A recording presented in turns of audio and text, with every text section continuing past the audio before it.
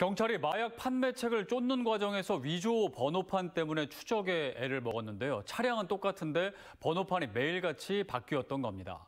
알고 봤더니 태국에서 밀수입된 가짜 번호판이었고 이들 번호판은 마약 판매뿐만 아니라 뺑소니 사고 등에도 활용된 것으로 드러났습니다. 이태영 기자입니다.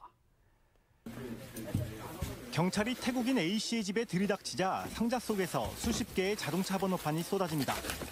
모두 태국에서 위조돼 옷이나 청소용품 택배로 위장돼 밀수입된 번호판들입니다. 지난해 7월부터 국내에서 유통된 것만 110여 개. 그동안 이들 번호판은 각종 범죄에 활용됐습니다. 지난 7월 괴산에서 발생했던 뺑소니 사고와 지난해 12월 음성에서 사람을 친 뒤 달아난 차량 운전자 모두 A씨로부터 사들인 번호판을 사용하고 있었습니다. 마약 유통에도 위조 번호판은 사용됐습니다.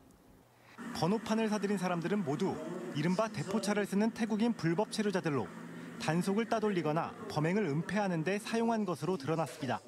외국인 마약 판매책을 공고하는 과정에서 번호판이 유통되는 정황을 포착, 3개월간 경로를 추적하여 이들을 검거하였고 경찰이 적발한 24명은 모두 태국인으로 경찰은 이 가운데 유통책 A씨와 마약 판매자 등 3명을 구속하고 번호판 구매자 21명은 불구속 입건했습니다.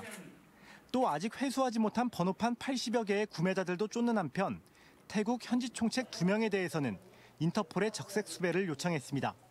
CJB 이태현입니다.